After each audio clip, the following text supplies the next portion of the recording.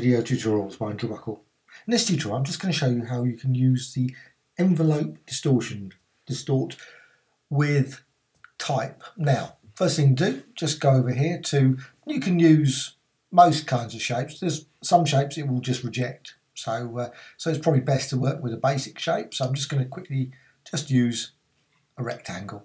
That's a very basic one. Now you might I find it nice to actually add a few points before I actually go any further. So you've got a few points on this, but say you just go to Object, Path, and add anchor points. Just add a few. Don't have to, of course. You can keep it very simple, but you can also add a few additional points.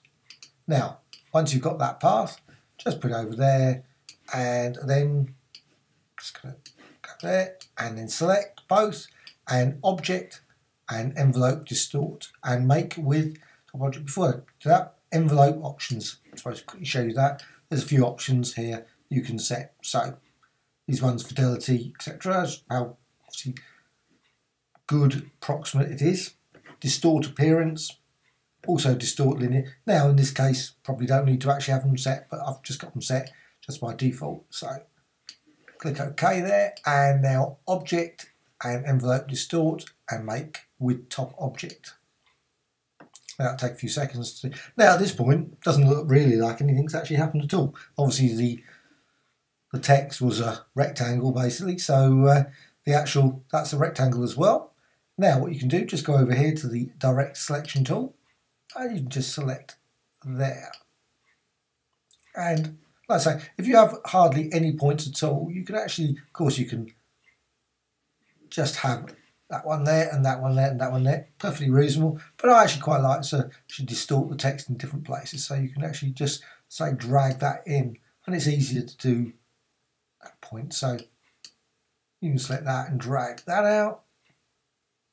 Maybe select that point as well and then drag that in. And you can distort them literally in thousands of different ways and you can pull those around and drag that up to actually make that sort of bulge upwards. Now, just gone a bit too far. You can actually over drag.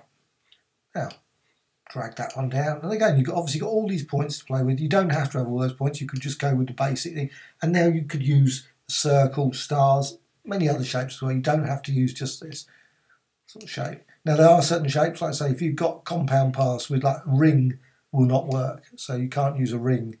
It will just reject that.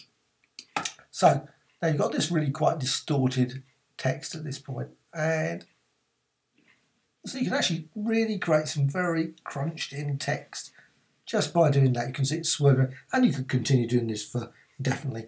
But next thing I'll show you, you can actually distort the distort. So you can actually say once you've got that, you can just go here to maybe select the star tool. I'm just going to apply the star tool on top over there. And again you could add some more points to that. You don't have to have that but I'm just going to go with default there and select both. And now just go to object and envelope distort again and make with top object.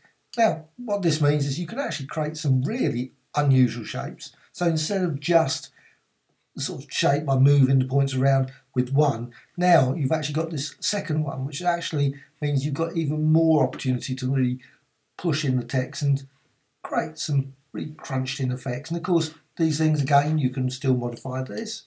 You can release it or not, depending. Now that's what the thing next thing to do. You can say object and envelope distort, and you can release. You can also edit the contents as well. Now I'm not going to do that at this point, but you can edit the actual contents. I'm working with the actual envelope at this moment, so.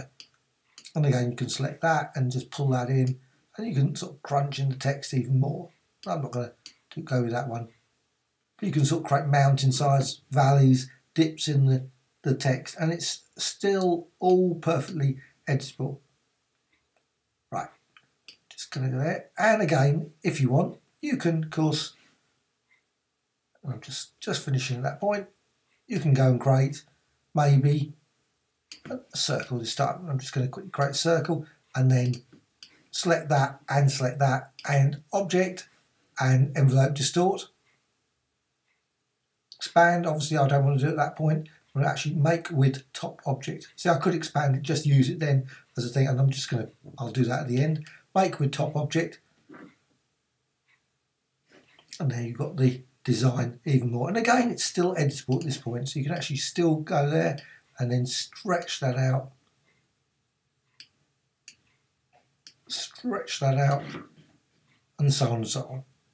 You can really make, and like I say, once you've actually got to the point of you think that's it, I'm not going to do any more, you can save it, of course. You can save it over to maybe a CC library, or you can just go down to envelope distort and expand.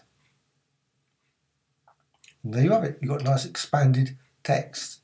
Now, of course, oops, not actually particularly editable at that point. In fact, it'd be very hard to edit that, I would imagine. But there it is. Some great little quick text, which of course you can manipulate as a normal path, change the colours, etc. Hope you found this of interest. Thank you much.